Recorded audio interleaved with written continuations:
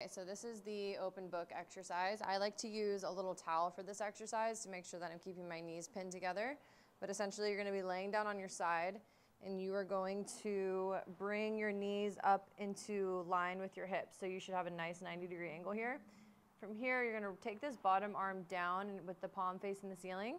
And you're going to take this top arm and you're going to reach across the bottom hand as far as you possibly can, continuing to squeeze the knees.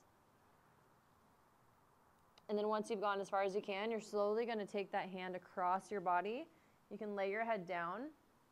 And you're going to reach all the way over until the back of this hand falls onto the floor. And you will bring your gaze to this direction as well. So we're not going to just stay looking at the ceiling.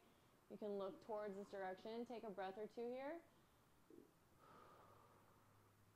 And then you'll just bend this arm, slowly reach forward, and repeat. Make sure you do the time mentioned on both sides.